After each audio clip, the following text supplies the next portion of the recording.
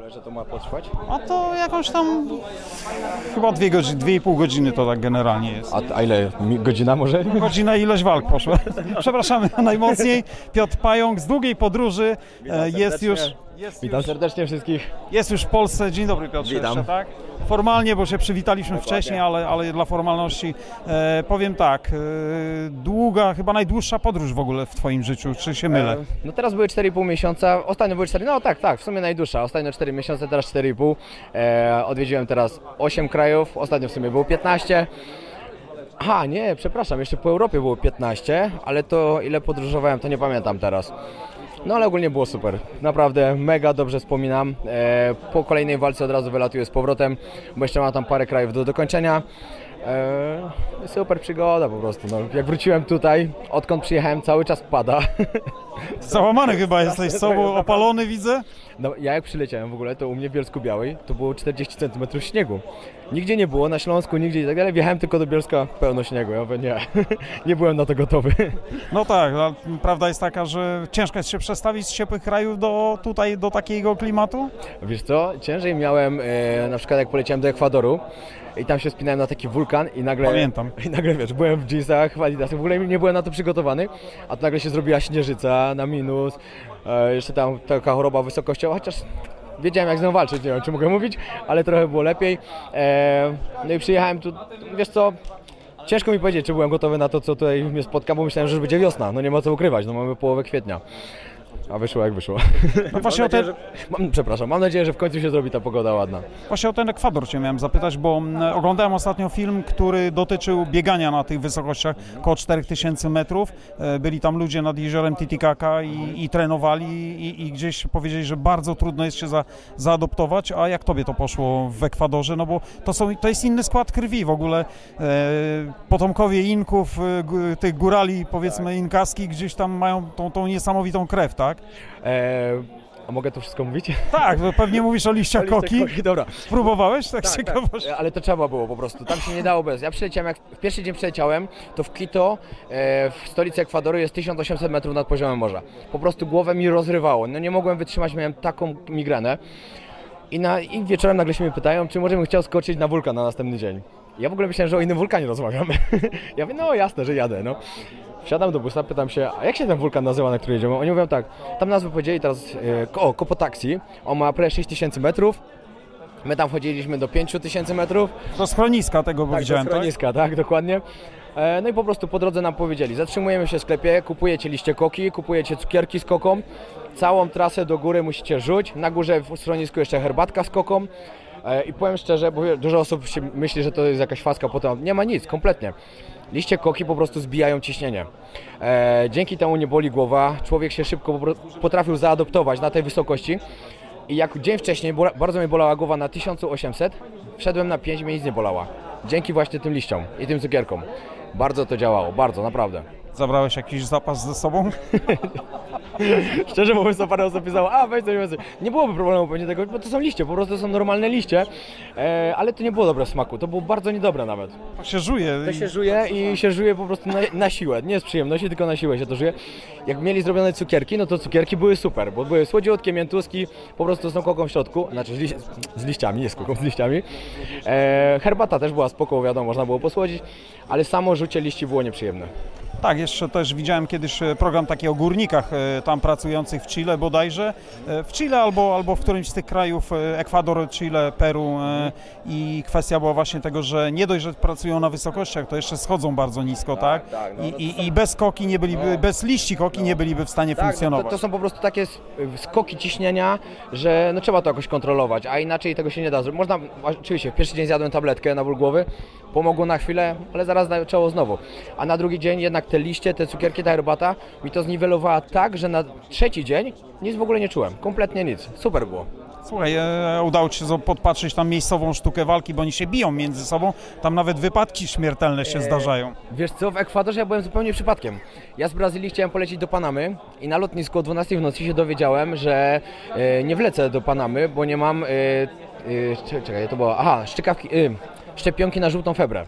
Po prostu trzeba było zrobić w Brazylii, żeby wlecieć do Panamy. Ja taki załamany trochę, ale mówię, coś wykombinuję. Zawsze mi się udawało wykombinować, to coś wykombinuję. I po prostu zmieniłem bilet na Ekwador, Do Ekwadoru poleciałem tylko na 3 dni i się pytam jeszcze na lotnisku, jak polecę do Ekwadoru, to z Ekwadoru już mogę normalnie lecieć? Możesz. No i się okazało tak, że w ogóle lot miałem przez Panama City, czyli i tak wleciałem do tej Panamy, mogłem spokojnie z lotniska uciec i bym był już w tej Panamie. Ale stwierdziłem, że jak już kupiłem bilet do Ekwadoru, to polecę do tego Ekwadoru, przez tą Panamę oczywiście i, i fajnie, nie żałuję. Wypad na wulkan był bardzo spontaniczny, naprawdę tego nie planowałem kompletnie i to był drugi, najwie- y, drugi największy wulkan w Ekwadorze jeden z najwyższych na świecie wulkanów w ogóle. E, My wchodziliśmy tam prawie do 5000 metrów, a jeszcze wyżej to już trzeba było z rakami, ze specjalnym sprzętem i tak dalej, żeby tam wchodzić. Niesamowita przygoda, Ekwador był naprawdę bardzo piękny, ale jeszcze mam dużo do zobaczenia tam w Ameryce Południowej. To z tych turystycznych e, jakby e, tematów e, zapytam Cię właśnie o to, czy udało się, udało się tak naprawdę nawiązać jakieś relacje sportowe, tak? Czyli na przykład poznać z zawodnikami, z ludźmi, którzy tam są, którzy gdzieś, gdzieś po prostu też interesują się i, i oglądają. Znaczy głównie Brazylia, no. Brazylia to jest po prostu kolebka sportu. Tam nie, że tylko są sztuki walki, bo oczywiście sztuki walki są na bardzo wysokim poziomie, ale tam na przykład jak się wychodzi na Copacabana albo Ipanema, takie, naj, takie najbardziej popularne plaże, tam wszyscy ćwiczą po prostu. Tam jest tak, że na deptakach pełno ludzi biega, na plaży jakiś sport uprawiają, w siatkówkę grają, w piłkę grają. Tam każdy coś robi po prostu. Tam nie ma tak, że... No to jest po prostu, mi się wydaje, kraj, kraj sportu. O, i, i to naprawdę to widać. Tak samo piłka nożna, wiadomo, w Brazylii to jest... e, Jose Aldo, którego poznałeś, e, też, to e, też, też jest zachwycony piłką zawsze, tak? Bo się gdzieś Wyobraź interesował. Sobie, wyobraź sobie, co to dla mnie było, jak ja wchodzę na salkę i kolega mi tylko mówi tak, patrz. Ja się patrzę, a on siedzi mówię, jest, spełnienie marzeń. Mówię, powiedz mu, żeby ze mną zdjęcie zrobił. Mówi, nie no, nie róbmy tutaj wiochy. Będziemy skończyć trening swój, od razu podejdę, weźmiemy go. Normalnie przechodził, uśmiechnięty chłopak, przyszedł, pogadał z nami, zrobił sobie zdjęcie. Naprawdę świetny człowiek. Nowa Uniało byłeś, tak? Tak, tak, tak. Ja tam, Słynny team. cały czas tam trenował. Znaczy, nie, nie, nie, czekaj, przepraszam, ja nie... To, ten klub był y, drugim oddziałem, gdzie oni trenowali. My trenowaliśmy w Hyper MMA, czyli u DD Parnaze. De Parnaze się mówi? Tak się mówi. Tak, tak. Tak, no dokładnie. My u niego w tym jego klubie trenowaliśmy. W ogóle jego poznać, no człowiek legenda tam. Wszyscy jak tam się mówią, że chodzę tam na trening, bo tam nie było się łatwo dostać. Tam sami Brazylijczycy trenowali. Mi dali tą szansę, że mogłem tam przychodzić na treningi. Coś niesamowitego. Czułem naprawdę mega wyróżnienie, ale było tak ciężko. A ty byłeś przygotowany w ogóle, bo tak wejść z marszu i nagle zmierzyć się, popróbować, jak Znaczy, to? Wiesz co, e, miałem tak, że w, e, trochę potrenowałem w Ameryce, bo i potrenowałem z Andrzejem Fonfarą. No, Widziałem w tych gymach w tak, Stanach, dużo widziałem. tam boksowaliśmy, później jeszcze miałem okazję pod, poznać Babyface'a, niesamowity chłopak, też bardzo mi, bardzo przyjazny. E, no i tam trochę potrenowałem, no i później stamtąd od razu Brazylia. Wiesz, wchodzisz na grupę jiu-jitsu, a tam na przykład jest 15 albo 20 czarnych pasów. E, robisz grappling i praktycznie jak się robiło z kimś grappling, to tylko z czarnymi pasami. No tak. Poziom naprawdę fajny. Wiesz, chłopaki mnie bardzo fajnie przyjęli, bo to była szkółka trochę na faweli.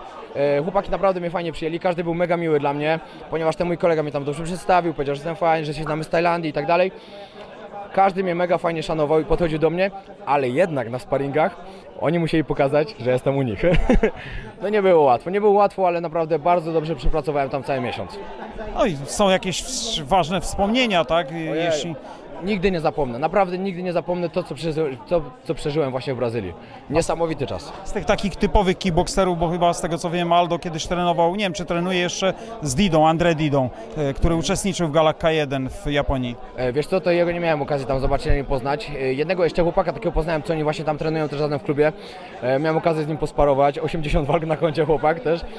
E, tylko kurczę, teraz Emerson się nazywał, jak na nazwisko nie, wiem, ale też niesamowity chłopak. W ogóle tam każdy, do kogo nie podchodziłeś, że jakiś sparring albo coś, to każdy na przykład, wiesz, 30 walk, 40. W Brazylii walki w MMA oni mają tak jak na przykład, no może nie aż tak jak w Tajlandii chłopaki, ale tam jak ktoś ma na przykład 30, 40, 50 walk, to jest normalna sprawa w ogóle, wiesz. To nie jest nic takiego. A takie nazwisko poznałeś, e, w ogóle słyszałeś takie nazwisko? Edson Arantes Donas Cimento. Nie. Pele. A, a no. Przepraszam, bo tak zapamiętałem, ale oni mają strasznie długie te No. nazwiska, tak? I zawsze zapamiętałem, że to jest Pele, tak? Że Edson Arantes Donas Cimento to jest Pele. Że- Ale wiesz to w ogóle w Brazylii dużo ludzi jeździ i mówi, że Brazylia taka niebezpieczna i tak dalej.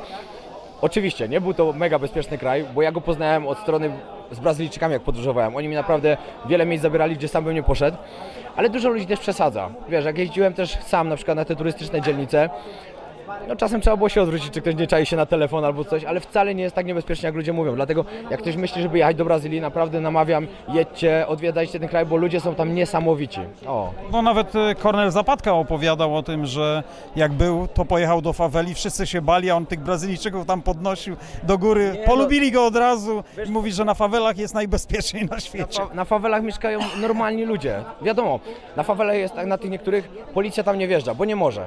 Ale znaczy nie może. No nie opłacają też to policję, po prostu oni to mają układ. Tam się dzieje, wiadomo, wszystko co się dzieje najgorsze, to się dzieje na fawelach. Ale tam mieszkają normalni ludzie też po prostu, tacy, których na przykład nie stać, żeby mieszkać w innych dzielnicach, bo na faweli masz za darmo wodę, masz za darmo prąd, możesz się wybudować za darmo.